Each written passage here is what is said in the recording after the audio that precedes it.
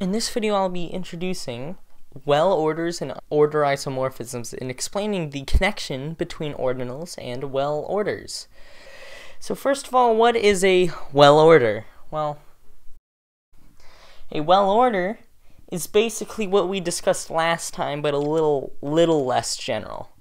What it says is that a, an ordered set S with an order less than is well ordered if for every subset of S that is non-empty,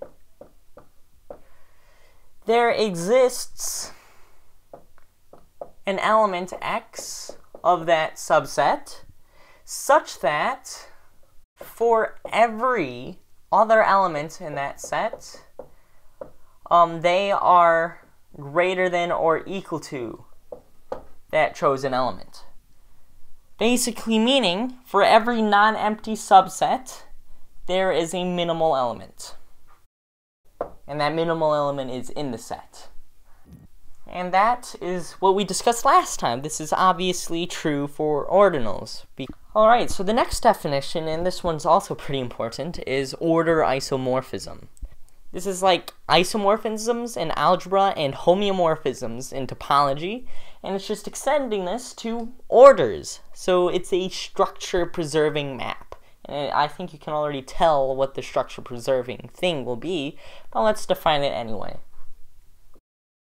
So, an order isomorphism is a map, F, that takes you between two ordered sets, I'll say S under less than, and S prime under less than prime.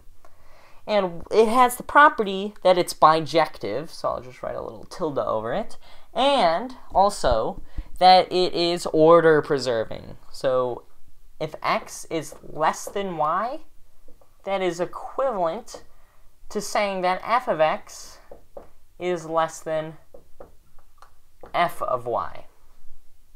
So that's a pretty basic definition. Now, an important object that we'll be dealing with a lot is something called a segment. If I have some ordered set S, and I pick an element x from it, then I can create what is known as the segment Sx, which is the set for a an element of S such that a is less than x.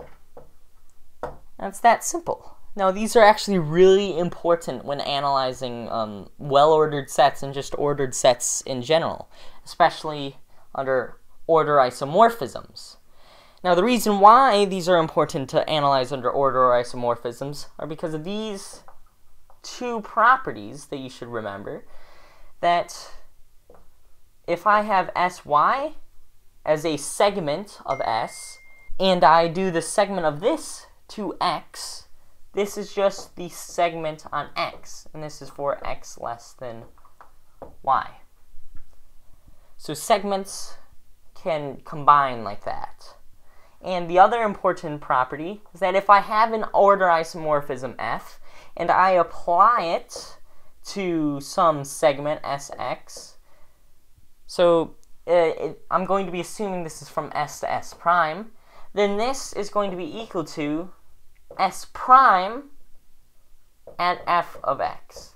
So this is for any order isomorphism. That's act, uh, these are the two reasons why segments are important. And now there are two other properties I'd like to discuss. And it's that if I have ordinals, some of their properties when it comes to this. If I have alpha less than beta, then beta segmented to alpha is just alpha that simple. And second property is that if alpha is order isomorphic, which I usually just write that, which means congruent, if alpha is order isomorphic to beta, that means that alpha is equal to beta, and that's for ordinals. Alright, so the theorem that we're going to try to prove now is going to be that every well-ordered set is order isomorphic to some ordinal. And this is the connection I was talking about. Every single well-ordered set that you could possibly pick is order isomorphic to some ordinal. Now, first of all, I'm going to prove a lemma that will make this super easy. And this lemma basically says is that if I'm given an ordered set S less than, uh, if for every x an element of S, I have it that Sx is order isomorphic to some ordinal. So every segment is order isomorphic to some ordinal. That means that S itself is order isomorphic to some ordinal. So every if every segment is order isomorphic to an ordinal, then the entire thing is order isomorphic to some ordinal. Now the way this works is that if I have a, let's say fx, so f index x is going to be the map from the segment on x into some ordinal I'll call f of x. This is the order isomorphism that's guaranteed by the hypothesis, because it is the order isomorphism from the segment to an ordinal guaranteed by the hypothesis. Then, what I'll do is define a map f, which is basically just taking you from x to this f of x ordinal. f takes you from the entire space S into some ordinal I'll call alpha, which is the set of f of x for x and s. It's basically the image of s under this. That's just to guarantee it's bijective. And then, of course, you could probably guess that x gets sent to f of x, the ordinal right there. The proof that that's an ordinal is left to you because it's, it's really not that hard. All it really uses are these two facts but right now I'm going to use these two facts right here to create a diagram. And this diagram basically says that if I have x less than y, then I can create this diagram where I have sx, which is simply equal to sy restricted to x, and then I can take the map fx to f of x. That's the definition, sx to f of x. And then for this one, I'll take fy, except I'll restrict it to sx, just so that this is a bijection, and I'll send it to, well, let's use this fact right here, instead of putting down fy of sy to x, Let's think about this. Instead of writing it like that, let's write it as the image of this map is going to be f of y. So let's first put down f of y.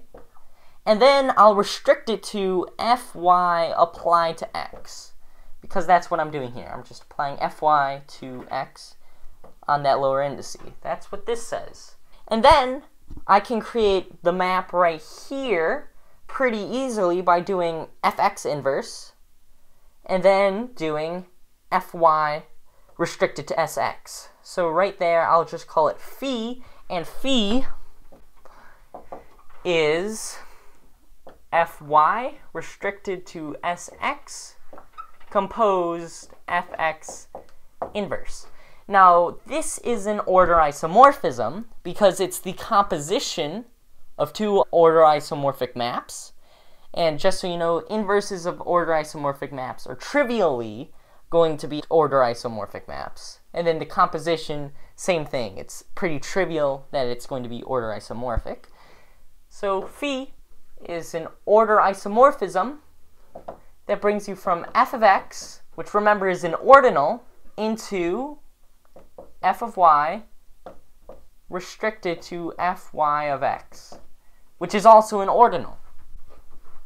And so what this tells you, by this fact right here, order isomorphisms is just equality, is that f of x is simply going to be f of y restricted to fy of x, which tells you then that f of x is a proper subset of f of y which tells you, because these are ordinals, by ordinal properties that I proved last time, that means that f of x is less than f of y, basically telling us if x is less than y, then f of x is less than f of y.